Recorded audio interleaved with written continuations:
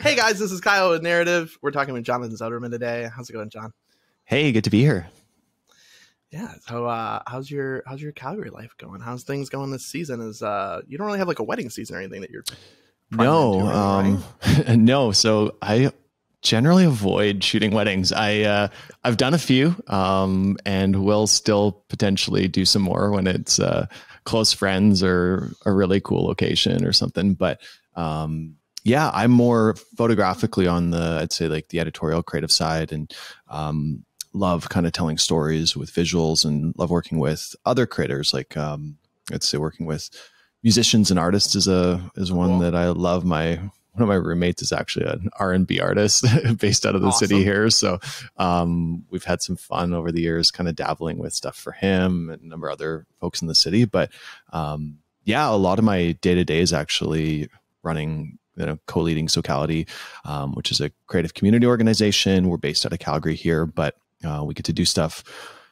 all over Canada and then um, into the states. Not as much in the states and globally since COVID. We were kind of all yeah. over the place pre-COVID, and then uh, like everybody, we kind of got a lot more local, and um, that kind of coincided with an opportunity to do a lot more with Canon actually, which was cool. kind of a crazy opportunity as someone who had shot with that brand since I was, you know, kind of day one. Um, definitely never thought when I picked up uh, a camera, like used as a, yeah. a like 20 something person that fast forward like 10 plus years and I'd be like working with that brand or doing stuff with them. So it's been yeah, kind of an incredible crazy like journey. So people, but so many people chase after that. Like I've been trying to get Leica to pay attention. yeah, years, right. Uh, and they have no interest in it whatsoever. Um, and it's just like, all right, that's fine. And you know, I could want it, but the mm-hmm. fact that like Canon sees what you're doing from your community standpoint and your just individual work standpoint is like such a huge, a huge token to say like how how great you are, what you're doing. Well, and um, to speak to that, like just briefly, like I think I've had lots of people at different times that are like, Hey, how do I become an ambassador? Or how do I do this? And how do, you know, and having got to work kind of on both sides, you know, be on that side early on, being like, oh, tagging every photo, like how do you get different brands to notice you? Or, um, and then being on the flip side, kind of working with the brands and you just see a very different perspective and, and you realize there's you know hundreds or thousands of creators out there that take great photos. Um, yeah. and so it's less about just taking a good photo and more about what does a brand actually need? Like what are they looking for? What what ticks the boxes of you know um, yeah what benefits them? What makes what are they looking for in either an ambassador or in people that they're going to work with? And um, and so for us it was it was we met a bit of a need more on the community like building side where we were doing stuff that um, I think they saw in other different cities and with just how mobile we were and what we were doing with bringing people together like that we're shooting already in different you know different ways. And um, and that was a need for them. And then interestingly enough they didn't you know the Canadian team didn't really have a, a structured ambassador program hmm. at the time. And so it was kind of interesting for us to kind of we just i think as a part of our working with them almost pitched them on a baseline kind of um, simple ambassador kind of thing it was more just with our team saying hey cool. we'd love to represent you like do this you know could we work something out um, along with that very organic honestly it was all just kind of um, but then in meeting that need it almost inspired them to then think more clearly about an ambassador program. And so then like that led to them actually launching an ambassador program in Canada. And, um, you know, and so it's kind of cool. Like I think too often as, as creators, it's kind of just, oh, notice me. Like this is what I'm doing, but not looking at what is the brand, like what do the brands yeah. need, you know? Um, because there's you know on a just pure photographic basis it's like yeah i take good photos but so does hundreds of other people in this country right like um there's people that have been doing you know like succeeded in all kinds of different yeah. spheres and, it, and it's so relative you know even objectively you know um, yeah the um, pool of the pool of talent just like scrolling through any yeah. any app right now you know? is just out of it's bonkers is just so, so much but it's it comes down to really like what's the value you bring? You know what need are you meeting for those brands? And and availability and like how easy are you to work with? And all of those things. So um, it's been cool, but it's been, uh, I think my favorite part is just getting to connect with so many people as a part of what we get to do and meet so many creators and, um, and then get yeah, to your events of, are pretty yeah. large, right? You're you're doing pretty large events for Socality. Like I was just Yeah. kind of scrolling through and just seeing pretty big group photos. Yeah, yeah. Um, we love the group photo. it's been kind of a, um, but yeah, uh, I would say it really ranges. But our our kind of creative experience events that we do, um, they tend to range anywhere for probably like hundred to two hundred people. Um, Wow. Sometimes a little less, but they're definitely on the larger larger scale. Um, we've got one coming up actually where we just booked a the football stadium um, here in Cool. Calgary. Uh, and so we're gonna have some fun, like a mix of kind of like athletics stuff and editorial and um, yeah, honestly, we just love kind of thinking outside the box and imagining a place or a location that we'd want to create in. And Yeah. then just kind of try and make that happen for a bunch of other people, and then use it as a use it as a way to kind of bring people together at the same time. That's really awesome. Yeah, I feel like with the with the Canon side of things, it's um it's not too dissimilar to like when I was first starting out and trying to get more wedding blog features. I Mhm. was just trying to just send in pretty work, and then and then it hit me somewhere along the way, and I built relationships with editors and magazines, and I was like, what do you guys need? Yeah, What are what do you need for this season or this year or whatever it may be? Let me go make that and then bring Mhm. it to you. And that created these like total different partnership in the way that I not only just photograph the wedding, but just have engagements with these other brands and and uh, relationships. Um, so I think taking that like I think about I really wanted the cover of Rangefinder years Yeah. ago. It was like a thing I Yeah. like really targeted after, and it's not an accident. That doesn't happen because the Yeah. editor just happens to email me and say, "Hey, we want this." I Mhm. had to really like chase after it, say, "What do you need? What Mhm. is it that you guys want?" And I will build around that. Um, and I think that it's just that little different energy or perspective shift on things and obviously like it's been super successful for you with canon and um similarly so i'm sure with even like your uh socality events it's like Yeah. what do what does the community need right now yeah. like what is what is what is that vying for what do you think the the thing is right now that you're hoping like like it's kind of post covid everybody's you know obviously for the most part i'd say things are normal-ish Yeah. um and like what's what's the need right now I think the biggest need we see is just creators want to do this full time for in a lot of cases, right? So it's just Yeah. financial sustainability, like stability, you know. And I think that's kind of um I I think from my perspective probably the, one of the biggest ones for everybody. It's like yeah, people want to get better, you know, they want to improve, they want to grow, but um especially the ones that are past maybe that first stage where you're kind of you start to kind of know who you are. They've kind of got established a little. I think so much of it's they're just trying to find ways to, you know, not be on this cyclical kind of uncertainty that can come with that freelance, you know, Yeah. you know, um, weddings are a little different, you know, when you're booking year, you know, if you've got that client base to book years in advance yeah, or 10 you know like out. i think the more established on like the wedding side like weddings is probably one of the one of the reasons so many people get into it is because it can offer that level of stability that i think you know semi you know or if you you know if you're smart with it. Um but at the same time it's just like weddings aren't for everybody. Like i'm a testament to that right? Like um i enjoy like i said i enjoy the odd one but like i i couldn't i couldn't see myself getting excited about doing that on a day to day week to week kind of like you know annual basis where that was just don't have a passion for it right? On a Yeah.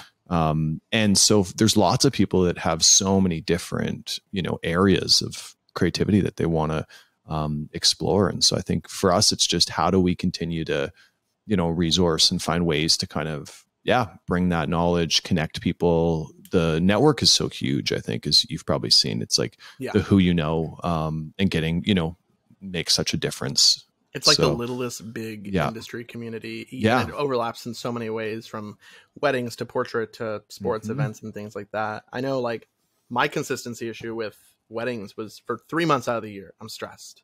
yeah Consistently, yeah I know year over year it's going to be fine. Yeah. I know it's going to be fine, but I would find myself in the shower worrying about it. Mhm. Be like, man, I sure hope that that photo does really well so that someone will see it and like it and email me and pay me so that I can pay rent and order pizza yeah and it's like three months of that and then the rest of the year is chill Mhm. but would you say like as obviously the community is looking for that stability and trying to go full-time with things as we've got tiktok instagram reels glass Mhm. and everything else in between going on. Um, what's what's the way to navigate around that or what's the hurdles with that that you've seen up close with these people who are just just kind of on the cusp of turning it into a full a full-time financial stability business for them? Yeah i don't know. It's a it's a weird it's kind of a unique time because i think obviously like there's so many there's so many layers like to that so right? It's like um i think there's so many questions that people are asking because there's the positioning like what is my you know what is my thing? And i think there's that question of am i you know obviously people are growing huge platforms still by ultra kind of niching down to like doing one very clear very thing on like TikTok reels, you know, and I've seen a number of, you know, from YouTube style, you know, creators to wedding photographers that are basically just marketing themselves through like very clear, like talking head, you know, like value added content, you yeah. know, on on TikTok or Reels. Um, and it's I've seen people grow, yeah, significantly. Um, and that's a that can be one one tool to like strategically, you know, get yourself out there, build build that audience, and um, but it's also tough because not everybody has that desire or this feeling of confidence to build that kind of stuff. I've never, I yeah. personally have never been someone who, you know, probably do a little bit more, but I've never been someone who's just like felt like I wanted to do like talking head reels or or put myself as this like major personality for my brand. You know, I think for me it was always like the art was kind of first and I know there's a lot of people that feel that way or wrestle with that, where it's like, do I to grow or to put myself out there? Do I have to do that, or do I have to, you know, just because somebody's seeing success there, like, does it have to be one or the other? And I think there's this, yeah. Go ahead. Yeah, it used to be like I just put out really beautiful work mm-hmm. and put some really sad quotes on it from Tumblr or my mind. Yeah, and that, that worked. worked. That yeah. was great. I didn't have to be a person mm-hmm. on the mm-hmm. internet. I could kind of mm-hmm. share my deeper inner feelings through like what I was writing, but. I didn't mm-hmm. have to share myself. And even this job, this is this is the first time I've ever really had to be on camera so consistently. Yeah. Um, and look at myself and edit myself right? and clip it all together and try to make mm-hmm. it entertaining yeah. or interesting, valuable. Yeah. Yeah, and it's such a different it's such a different approach. And before I could tell that a lot of my external personality was really hidden through my work. Mm-hmm. People would meet me at workshops or work with me on a day or something, and they'd go, "Oh, I thought you were going to be a lot more reserved or like quiet and deep and brooding." And I was like, "No, I'm loud and obnoxious, and my work is quiet." Mm-hmm. and so clearly, I wasn't really putting my external self out there, and mm-hmm. so it's such a different it's such a different take and I, I, personally don't even I, I refuse to download tiktok just because i I do not. I've already got Reddit. Reddit yeah. already takes all my time. Yeah. I don't need another thing. But it's just um, I know the content that's going out there, and mm-hmm.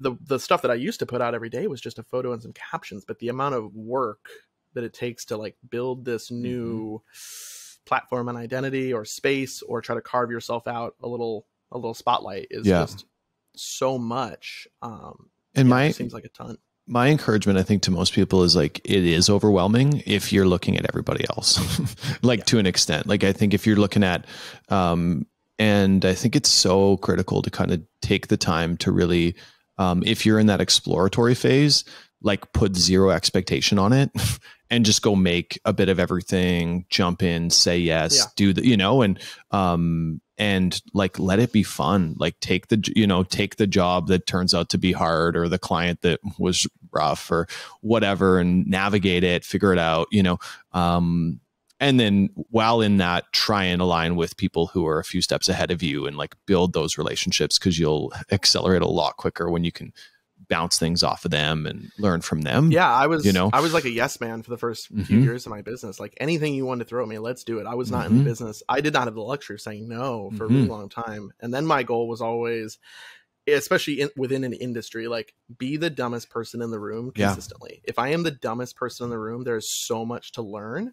Um, and anytime I found myself as the smartest person in the room, I was like, well, A, why am I here? And B, am I making money for this? Mm-hmm. so if I'm not, let's go find other places where everyone around me is so much more established or intelligent than me and learn from their their ways about it. Yeah.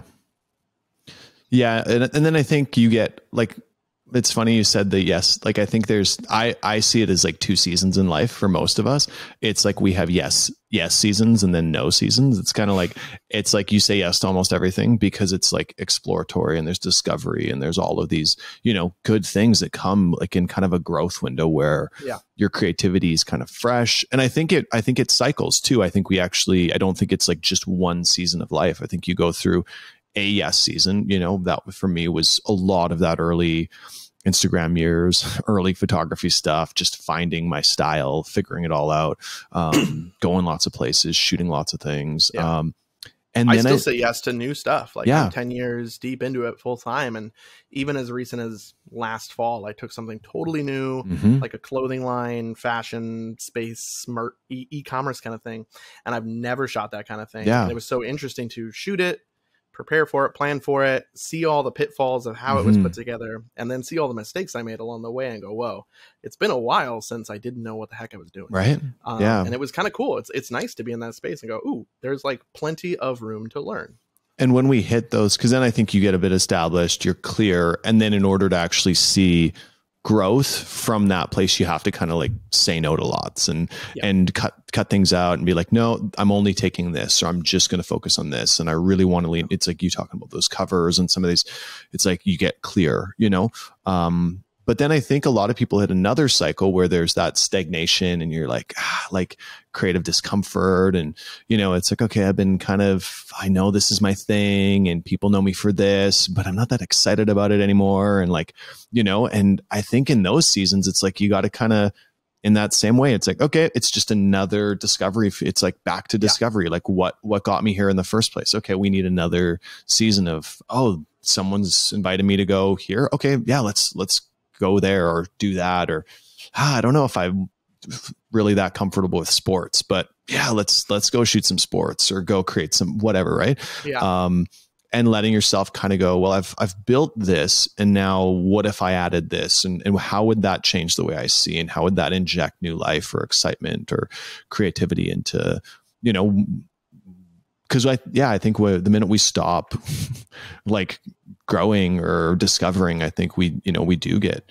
um, yeah I think that that's where some of that um, discomfort like I don't know um, even just I think it can lose a lot of the life. You know I think I've seen a lot of people yeah. that are really like passionate about their creativity and um, because maybe there wasn't the opportunity to kind of further like open those doors or, or kind of inject another yeah. cycle of of discovery it can kind of just die or you see you know people who you're yeah, like or even just yeah or even just deciding what you want to do with the thing mm-hmm. like i've been my money comes from weddings but yeah. i've been shooting portraits at a what I what I consider a pretty a pretty high level yeah. for years now. Yeah. I've never made a buck from those. Yeah. Those are just me just passion wanting mm-hmm. to go make stuff. And then more recently, more recently, uh, a really high end artist friend of mine said, "Hey, why don't you have like a solo exhibition with these mm-hmm. pieces?" And I never even knew that was a thing. I didn't yeah. even know that was possible for mm-hmm. me. I've only ever been in the business of a client wants something, they commission me for it, I produce it, and then I deliver it. Not I make whatever I want mm-hmm. and then I mm-hmm. stick it on a wall and hope some right? artsy yeah. fartsy guys buy it. Mm-hmm. Um, and so that's that's the new thing that I'm trying to figure out. It's a really super scary, weird mm-hmm. place to do. Um, and go, okay, well, this is this is a whole nother lane i've never been here i have an established body mm-hmm. of work and established career over here but let's be really nervous over here for mm-hmm. a little mm-hmm. while and it's pretty cool to just be kind of on my back heels a little bit that's really cool what uh what have you found like has shifted inside of you as you've kind of like it has it made you want to pr- pursue because it sounds to me like the the fine art creative side is maybe like yeah, you do the weddings, and I'm sure there's passion yeah. there, but probably like a lot yeah. of people, it it is work. you know, yeah. whether you. I mean, like, I'm pretty transparent. I've told know? people my my my wedding passion has really drifted off, and I mean, I've been making a career mm-hmm. transition mm-hmm. for a bit now, and it's something that before I go to a wedding, I started catching myself, and I was like, man, I don't really want to be here, mm-hmm. and that's not good. That's not good for my clients, and I've I've said for years, as soon as you're just doing it for mm. cash, you yeah, just, absolutely, you gotta get out. Um, so I've noticed it's more like my my future planning is kicking in. So like I have Mm. a body of work that I'm going to Yeah. do a show for and I'm going to put together and I've got a I'm working on a space and I've got a guy who's going to frame it and I've got a band and wine and all. Yeah. that jazz. Um and I go cool, that's neat. Let me do the first Mhm. one. But then I'm really excited at the idea of like the next one where I Mm. can plan for it and say, "All right, I want eight specific pieces that look this certain way that's Yeah. been floating around my head for a while." And that's what that show is going to be. Mm.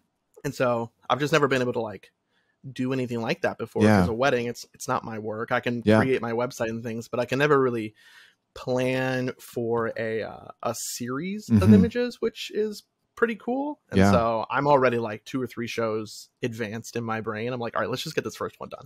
Yeah. Um, so it'll be it'll be neat, and there's totally a vanity thing to it. I'm like, oh, a show just for me. Yeah. Everyone's here just for me. Yeah. Like I'm not some back hallway guy. I'm like Yeah. I'm the main exhibit. Okay, um, it totally leans on that. I'm like, that's fine. That's cool. Yeah. Was it has it taken time to get there to feel comfortable? Like have you are you somebody that has had a hard time? I don't know. I relate to this. I'm just, you know, curious. But Yeah. where when you shoot a wedding or you shoot a commercial piece or you shoot something for somebody else, you can kind of hide a little bit. Like or like I Um, mean, I've never had a problem sharing original work, but I think I think the idea in the context of like selling it um, or where you're, you know, like the show, or I think for probably myself and a lot of creators, there's there can be that little bit of a, well, now it's now I now I'm in the spotlight, and then the perfectionism and the like, all the voices and all the stuff kind of can rise up a little bit. Like, Um, I'm not too worried about that. I have had some nervousness in terms of like, is this worth anyone's time or money Mhm. kind of a thing? Yeah. Just because I've never made a dollar from it. I've, Mhm. you know, been making tens of thousands from weddings. Yeah. So I, I know my weddings are totally worth the time. Mhm. Um, I'm I'm struggling more in life right now where in photography I'm super confident. Like in a wedding, a model, a portrait session, a meeting, whatever. I'm like so my whole confidence Hmm. is great. Yeah. Anywhere else in my life, it's struggling. so um, in that space, it feels pretty good because I don't know. For years, I've had photographers and friends telling me like, "Why aren't you doing agency work?" or "Why Mm-hmm. Yeah. aren't you doing this?" And I've just said, "Well, it, it doesn't make any money, and I'm already making a lot of money over here, On the and then I get to yeah. just do this whenever I want." And like my, I tell models when I photograph them, I'm like, "Here's the deal." It's one day or six months. That's the delivery window. There's not a lot of in between. You're Yeah. gonna get it tomorrow, or you're gonna get it when I get to it. And and then the, I love that like if I cancel a shoot, if I'm just not feeling it, if I just Yeah. don't feel it, I'm like, you know what? I don't want to do this. And that's a really cool power to have when I don't have that power on the other side of my work. Yeah. So I think for me, it's just like I feel pretty stoked about it because I get to pull all the levers, Mhm. which is what I like about model photography is that I get to control the when, the where, the who, the what, the why, everything and what it looks like is pretty much up to me. Mhm. Um, and so having a show like this lets me totally have control over everything. And I'm pretty confident when I have control over everything. Um, so it's kind of a weird, funky space, but I'm, I'm excited to see how it goes. And That's really exciting. I, there's a couple of images I'm like really stoked to get printed up in like Mhm. uh, 48 by 63, Yeah. which is this like grand cinema size. And I'm just, even if they don't sell, that's fine. They're going to Yeah. go on my wall. I'm Yeah. super stoked for them. Yeah. That's exciting, man. Yeah, it's pretty neat. My my friend Brittany Mara, she's uh she sells like seven to ten thousand dollar abstract art prints. So she's Yeah. like really, really successful. And she was the one that said, You should you you make art. You know, Mhm. you could have an art show. um, which was just so baffling to me from a place of, well, I only think about my camera as a tool to make money typically for, For, like, others or like as Yeah, a service, yeah. as a service. Yeah, I like think I have two. Nikons and they don't come out unless I'm making cash. Like they're in a box otherwise unless it's work. And then I have Mhm. Fun cameras. And fun cameras to me are just they're fun. They're for me Yeah. to like go take photos of my friends and give them really high quality images and then not Mhm. think about it. Yeah. I think that's empowering though for a lot of people because I, I think um I think the tendency can be to write your like look at other people and go, oh, they're artists or like that their photo could sell Yeah. for X or that, you know, or write fine art, you know, or any of that off is kind of like a an ideal. Um but I think there's a lot of creators that that's the gift. It's not, you know, there's people that I think that they're super skilled at commercial photography or commercial video or you know um, the commercial side and are passionate about it love bringing someone's vision or someone's idea to life and um, or weddings right like i know so many yeah. wedding photographers that are deeply passionate about um, giving someone that experience and documenting it and the storytelling that goes along with it and um, but I think there's a lot of photographers that are similar to a director, right? Like a film director, where it's like, mm-hmm you know, or an artist and and there's a vision and there's like something that needs to come out. And um, I think it can be frustrating if it just resides in the commercial space or in a service oriented space and it never gets the space to actually start to work yeah, its way I've out. always identified so like uh, my very first workshop I went to was Heck Yeah Photo Camp years ago, mm-hmm. and uh, Parker Fitzgerald or Parker Fitzpatrick. Yeah, I think it's Parker Fitzgerald was speaking there, and uh, he he made a big note about like, listen, you're not a photographer. Mm-hmm. Everybody here is identifying as photographers. You're a wedding photographer. Own it. Like that is who mm-hmm. you are. And I from that moment forward, I've always been really proud about like, oh hi, what do you do for work? Oh, I'm I'm a wedding photographer. Yeah. And recently I met someone and they they introduced themselves, despite being a very successful wedding photographer, as an entrepreneur. Hmm. And I kind of got thrown off by it. I was like, oh why don't you identify as this thing that you that is your main mm-hmm. lane um and so i've always identified that way and it's never been like hi i'm an artist i'm freelance i'm a mm-hmm. creative i don't it feels it's always been a business identity mindset mm-hmm. so shifting mm. away from that into a space that's not business and truly just creative or artistic has always been really foreign to me mm. and so when i see other people like your work or anybody in that lane that's so talented in this artistic way that I view things through a technical lens. Yeah. That I I always feel like I don't relate or I don't connect. I'm like not part of that tribe. Mm-hmm. But I think that's the shift point of of even separating those things to go like you can be both. You know, yeah. Like I, you know, I spend you know, I've spent most a large part of the last few years having to put my photography and like the art kind of to the side a little as we've built Socality and spent time, you know, like yeah, investing in really other creators and and providing value and and trying to build the community and do all of that. And um, but in the same way, it's like you're still you're still growing and even in the the seasons where it doesn't look like you have a whole bunch of creative output to show for it your yeah. life you know like i think we forget how much of our life um, and our our experiences and our conversations and all of that is material that's actually that we can draw on and pull from to you know tell yeah. better stories or um, you know convey things even the i think the books we're reading the content we're consuming the you know the stuff that is meaningful to us i think it's um, you know i work closely my business partner scott he um,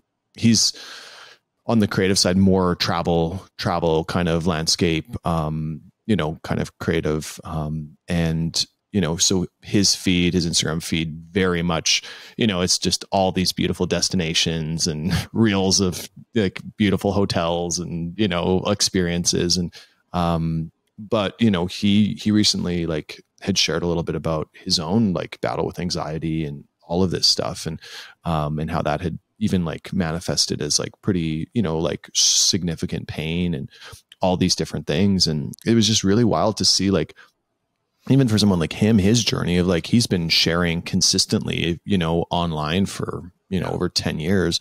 Um, and people love the stuff he's put out. But when you step, you know, even that moment of just going, Hey, like, I know you guys see all of this and it looks great, but yeah. here's the reality, right? And, and, and he was just shocked by how many messages and the people that were you know commenting and, and relating and were like i've been through this like this is you know um, thank you for sharing and i think we forget how much of our own personal story like you know even when you're when we're talking about making art you know like matters in the stuff yeah. we create right and and that's the stuff that is the most relatable or it's not always just the beautiful thing or the you know but the stuff that's like created out of our pain or our yeah. struggle or the you know the stuff we're going through often resonates more with people than we think but we're so scared of sometimes yeah, like showing that I get way more responses whenever I, I think maybe starting two, th- three, four years ago or something, I started getting a little bit more um, emotionally vocal Yeah. on my Instagram. Mhm. And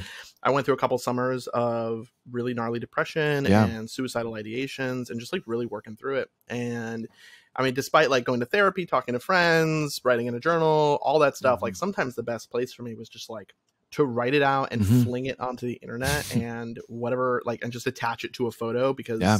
at least if I could attach it to this art thing, it feels like it's kind of all me and I can Mhm. send it out.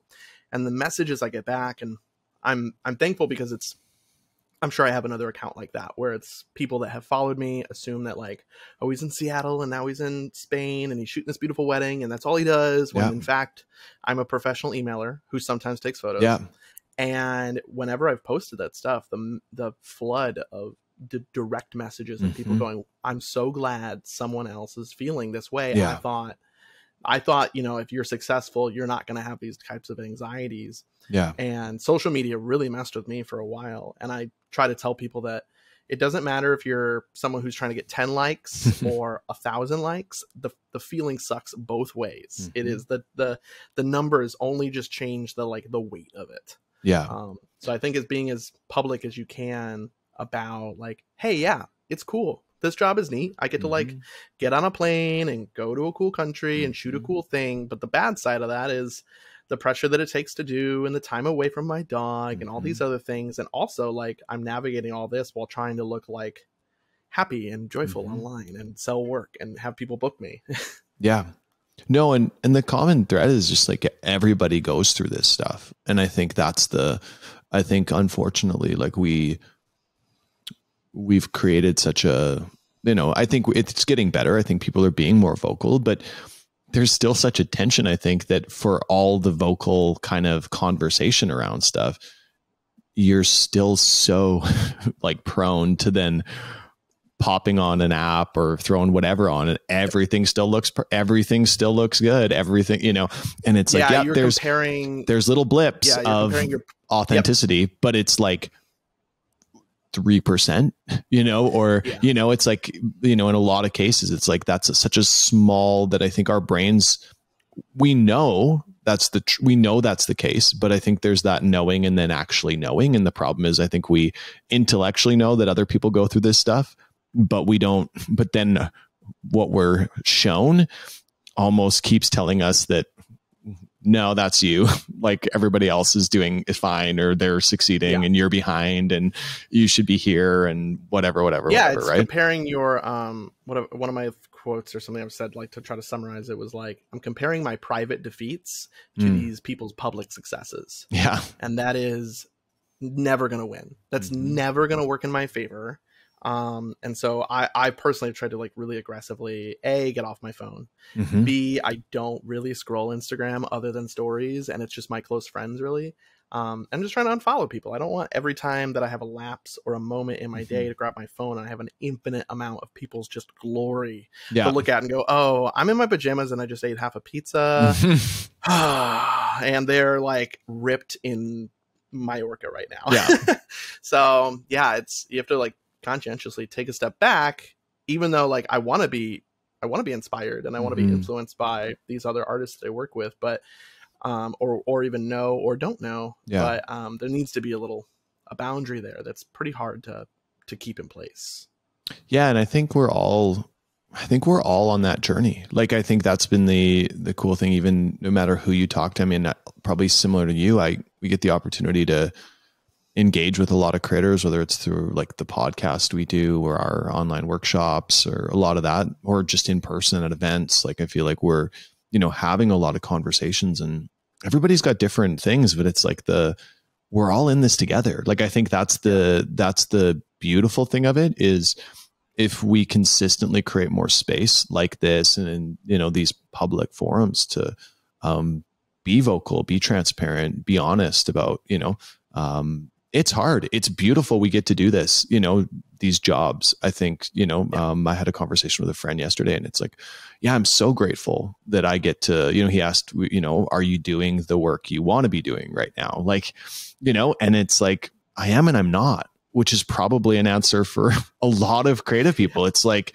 you know, here's the part that I love and I'm grateful for, but here's the areas that I'm like, oh man, I need to automate that. I need to be better at like delegating that. I need to, you know, um, but we the crazy part is we do get to choose right like and it's so yeah. easy to get in the cycle and get in the you know just next thing next thing next thing and not create enough margin to stop and you know be with the people that matter and ask those questions and um if anything i think you know that's the part we need most is you know i think what you just said about the limiting social and some of these things just creating more space to you know be present be you know um, have those conversations open you know whether it's journaling or in conversation with people you know we care about or we love like asking what do we really want what are the you know what's yeah. the what do I want from my creativity? Do I want to shoot weddings or shoot like commercial or shoot this or do that for the next 10 years? Or, you know, it's like, it sounds like for you, it's like you've seen a pivot where you're like, man, I'd love to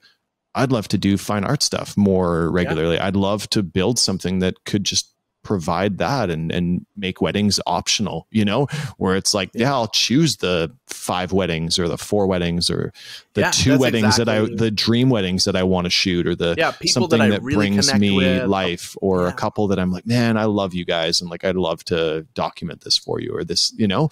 Um as opposed to man i need that few grand or whatever it is for to pay the bills in you know december or whatever yeah, so i having, guess i'm gonna having book the luxury that, like, to create art, when you don't need it to pay mm-hmm. to keep the mm-hmm. lights on is an entirely different space mm-hmm. and i think it's like it's almost like the next step after being a really full-time creative it's mm-hmm. like you really want to like work up into it make this thing make all your money mm-hmm. And then after that, the next really cool hurdle is how can I do this and love it mm-hmm. and it not make money? Um, and it just be a thing that I just do for me. Mm-hmm. Um, and I've, I've been really fortunate the last few years to surround myself with a lot of people who speak or feel or, um, you know, express the same way that I feel mm-hmm. internally. I feel like five or six years ago that wasn't a big conversation online. It was yeah. strictly like, here's my cool pictures, I do cool things, everything's great, yeah. my life is perfect. And then if you were the oddball like me and came up and you were like, hey, I'm actually like really sad all yeah. the time, it was strange. And now as I scroll through my feed, just of my direct friends, even just people that are here in Chicago, um, people are just so much more in tune mm-hmm. with that while they're working through their work and mm-hmm. talking about like, oh yeah, it's I have to photograph a wedding this weekend, or I have three photo shoots for this job I have going on, and I'm having a really hard time, but mm-hmm. like I'm gonna push through it. And to talk about that rather than just be like, here's three shoots I did, um, has been a cool shift. And those are the yeah. people I associate with. They're the people mm-hmm. I want to hang out with because they understand both sides of it.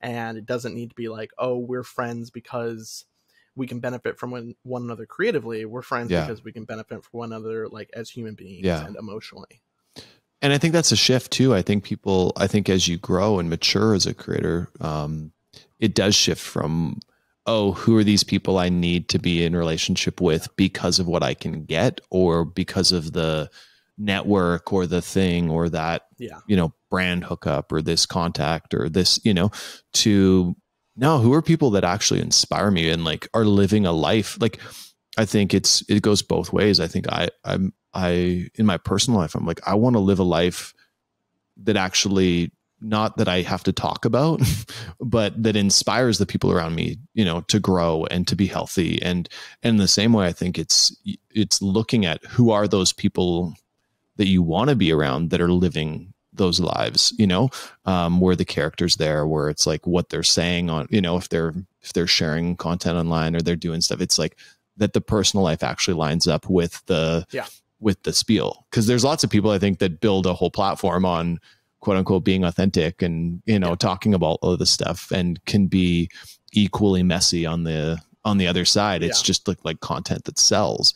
Um, but when yeah, you photography's find... always been a conduit to meet people. Mm-hmm. Like it's it's great. It's like it puts me in a room with a dozen people, but I'm not gonna like all of the dozen everyone. People. Yeah, uh, yeah. It, it, our values have to line mm-hmm. up, and so the people that are photographer friends of mine, I think about we met because of that mm-hmm. but we do not talk about photography we don't talk yeah. about work we mm-hmm. understand each other's work lives mm-hmm. which is great and it's always nice to have freelance friends to be like hey do you want to go spend all day at this coffee shop cool but we're not gonna talk about that it's like I want to talk about your life and your values and your goals and your Mhm. emotions and the the part p- park hangs we're going to do later this week Yeah. that have nothing to do with weddings.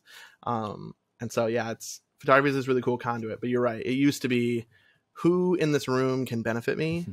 And like who who do I need to go buy a cup of coffee or a beer for and like be Yeah. buddies with and get something or a referral or whatever. And now it's like, okay, that's cool. I'll take that when it comes up, but it's Mhm. definitely not the goal by any means. and a lot of that stuff i think if you approach relationship in a in an actual give first mentality you know as opposed to what can i get from everybody like what who do i need to meet so that i can get like almost use them as the rung in the ladder you're climbing um but a much more like hey like I know where I'm going loosely. Who are the people that I should be surrounding myself? And then what what kind of how can I bring so much value to them that it's like a no that then the the returns just natural, you know? And that's how Yeah. I think I've tried to live my life is one that just give like give everywhere. don't don't hold like a ledger on like, oh, I've invested this much in this Yeah. relationship, this much Yeah. over here, like, oh, uh, they owe me, you know, or like, you know, it's like not like you know, I think when you just zero ledger, you're just constantly like someone who, you know, has boundaries. Obviously, I think I think the the danger for personalities that are more people pleasing and all of that is you Yeah. can just give, give, give and then Yeah. burn out. Um, so it's definitely a People can take advantage of that. and yeah. take advantage and see that and so it's a boundaried kind of giving um but definitely like an abundance mentality where you're just like hey i'm not uh it's not about a con, you know contractual kind of you know conditional thing. It's not about who i'm doing this so that you owe me. It's just hey if i've got space and i care and i can support you or help you out with that or point you this direction i will you know? Yeah, this job is given this this type of craft and talent, or not talent, but um, learned ability Mm-hmm. has opened that for so many things. There's so many people that I go, man, I you know I used to teach workshops. I've got Yeah. this big book of knowledge just sits around now.